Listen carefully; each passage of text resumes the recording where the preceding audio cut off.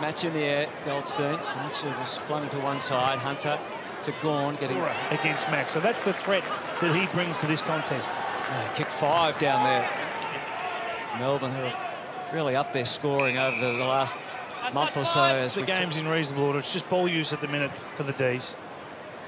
Hunter to the 50. Again, the confidence of a couple of goals. Smith puts oh, paid to that one, though. That was a terrific win for him. Ford, can he connect with him? Well, not with a bounce like that. Hunter, all in one motion back to Salem. A little sloppy, which made life tougher out there for Ford.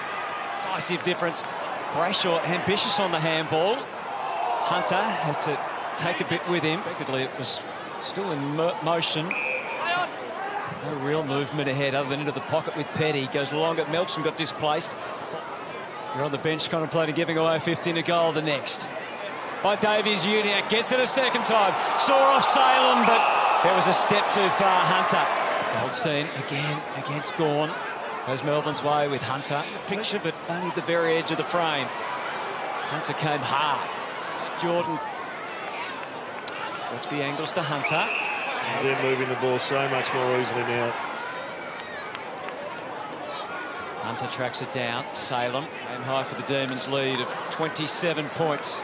They were 33 points behind at one stage, so this will actually be their biggest comfort. In this last term. Who do you rest? Who do you have a, a lengthy period on the pine for? To Hunter, who tossed it. Thomas. Taylor. Only as far as Hunter.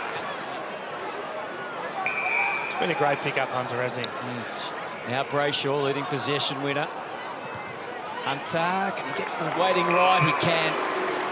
Of six behinds in this last quarter. Clever. Clever, wasn't it, from Hunter to Smith? Comes up a little lame. You've got to grab something when you miss a tackle like that, Hutto.